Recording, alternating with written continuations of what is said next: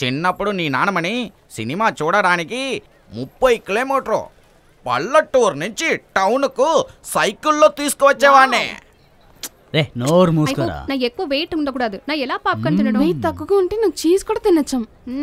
చెప్పులు. తీసే exact wait తెలుస్తుంది. విప్పేయ్ స్టార్టింగ్ చాలా బాగుంది. ఆ డ్రెస్ కూడా తీసేస్తే వెయిట్ ఇంకా చాలా తగ్గుతుంది. ఏమన్నావురా? ఏమన్నావురా? ఏంటి? ఏమన్నా? వినపడలేదా? ముసలోడు అయిపోయేసరికి నీకు చెవుడు వచ్చినట్టుంది. ఇదిగో ముసలోడా నేను బట్టలే కదా తీసేమన్నా? నా చొక్కానే పట్టుకుంటావా? నా సంగతి నీకు తెలీదు. నాలాంటి బలవంతుడు నువ్వు కొట్టగలవా? కొట్టు. ఎలా కొడతావు చెప్పు!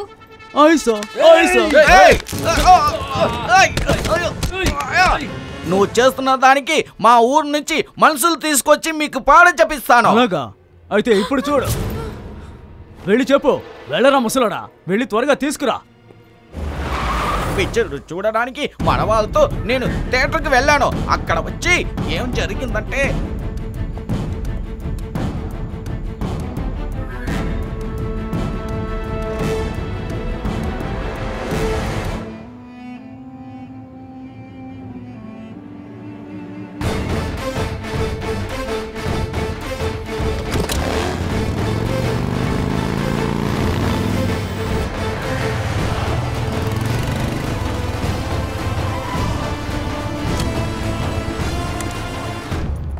అయిందా లేదు సార్ ఇంకా ఐదు నిమిషాలు బాకీ ఉంది సార్. గేట్ బంద్ చేయి.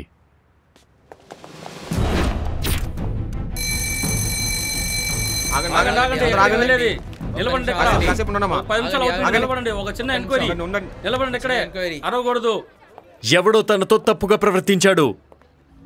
దమ్ముంటే బయటికొచ్చి ఒప్పుకోండ్రా. బయటికి రండ్రా. సార్ అదంతా మీ ప్రాబ్లం. మమ్మల్ని ఎందుకు ఇక్కడ నిలబెట్టి మా టైం వేస్ట్ చేస్తున్నారు?